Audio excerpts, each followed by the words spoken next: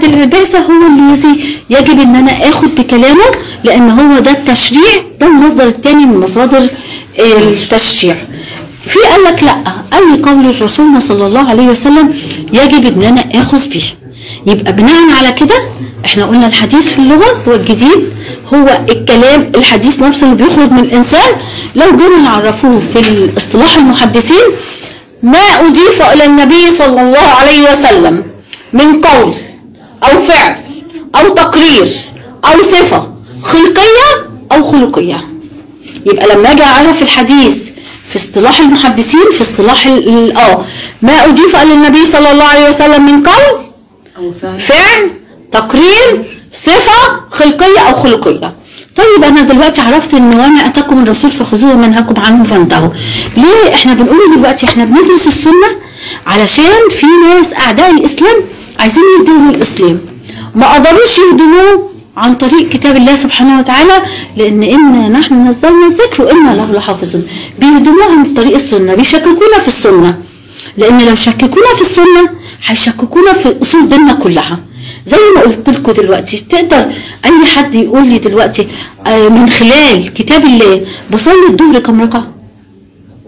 طب بصلي العصر كم ركعة؟ طب طريقة الصلاة الصحيحة؟ الاعرابي لما راح آه، أمام النبي صلى الله عليه وسلم وصلى والرسول صلى الله عليه وسلم قال له اذهب صلي فإنك لم تصلي. كررها الثانية والثالثة والرسول صلى الله عليه وسلم فقال له والذي بعثك بالحق ما أعلم إلا هذا. أما الرسول صلى الله عليه وسلم فهمه إنه يستقيم كده اهو ويتم استقامته زي ما نقول ويتلو الفاتحه وما تيسر له من الآيات وبعدين يركع. بين له ان الركوع. الركوع لازم يكون الإنسان ده وده تمرين بيصلح للظهر. يعني لو ده حد ظهره وجعه وركع ركعة صحيحة ظهره يبدأ بيتصلح. سبحان الله إرادة ربنا سبحانه وتعالى. لما أنا أركع كده أهو ركوعي مستوي بحيث لو حطوا عليا كوباية مية ما تتحركش ما تتهزش. واجي أقوم لازم أستقيم في قيامي هكذا. ليه؟ عشان في فقرات في الظهر هترجع مكانها. لو أنا اتحركت بسرعة ركعت كده وبعدين بسرعة رحت قايمة ده أنا ش... ده أنا بوظت ظهري. ده أنا دلوقتي آه التمرين المفروض بيقول لك بسم الله ما شاء الله بيحافظ على الإنسان يفضل طول عمره قادر يركع ويسجد ويأدي ده بيحافظ على صحته طول العمر. بس أديه صح فالرسول صلى الله عليه وسلم فهمه. قال له الركوع هتستقيم في القيام وبعدين هتركع ركوعك هيكون صح وبعدين تستقيم في القيام. وبعدين تسجد وتنتصر حتى زي ما بيقولوا بين له كم عضو هيبقى الجبهه والانف آه والإيدين والكم آه وبعدين تقوم ترتقي. وبعدين آه يبقى كده هيكون بسم الله ما شاء الله. أداء الصلاة صح. وهيكون آه زي ما بنقول أنا كإنسان استفدت. يعني زي ما بيقولوا جابوا أطباء في العلاج الطبيعي. قال لك مفيش احاد أصح من الحاجة اللي سبحان الله صلت الإنسان. بتحافظ عليه وبتحافظ على آه يبقى أنا قضيت كل حاجة. مين اللي عرفنا كده؟ رسول الله صلى الله عليه وسلم. يبقى أنا دلوقتي ما أقدرش أكتفي بكتاب الله سبحانه وتعالى. مش بس في أساس ديننا الصلاة. الصوم نفس الحكاية.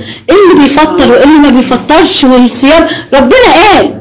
معروف إن أنا بفطر بصوم من إمتى لإمتى. لكن التفاصيل دي كلها عرفتها عن الحج الرسول صلى الله عليه وسلم نزل أمر الله سبحانه وتعالى بالحج.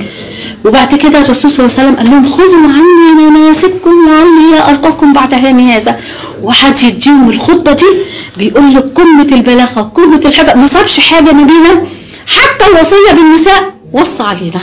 سبحان الله يعني آه. فسبحان الله وصى علينا في كل حاجة. كان يعني خطبة جميلة اتعلمنا منها اللي يقعد بس يبص في خطبة الرسول صلى الله عليه وسلم في حجة الوداع. يتعلم منها الكثير والكثير والكثير. يبقى أكيد إن أنا محتاجة لكل ده. الزكاه كيفيتها مصاريفها موجودة في كتاب الله زي ما إحنا بنقوله بس طريقة أدائها وحسابها وكل ده موجود فين؟ موجود في سنة نبينا صلى الله عليه وسلم. يبقى أساس الدين بتاعي موجود. ما أقدرش أقول السنة نكتفي بيها ونسيب القرآن. لا. الأمر في كتاب الله والتفسير والتوضيح والبيان في سنة نبينا صلى الله عليه وسلم.